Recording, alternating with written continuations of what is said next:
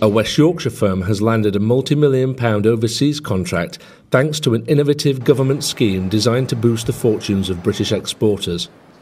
Joseph Rhodes, a Wakefield company which manufactures state of the art machinery, fended off competition from rival European manufacturers to land an Asian aerospace contract worth almost £10 million thanks to the Bond Support Scheme, which is run by the government's UK Export Finance Department.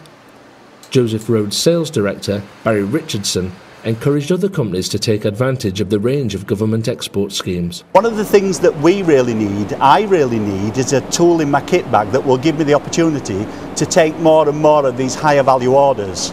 The problem we have as a small to medium sized enterprise is the ability to finance these packages. The UK Export Bond Support Scheme has given us an opportunity to actually take this project forward. Without that support, this project would not have been coming our way. We would have had to walk away from the contract.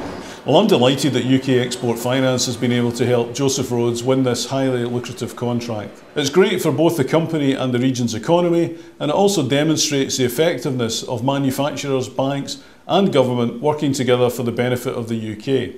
The bond support scheme in particular was designed to help exporters increase the amount of working capital available to them through their bank. In essence, we provide partial guarantees for up to 80% of the value of the bond, which ultimately can make all the difference when it comes to winning an export contract.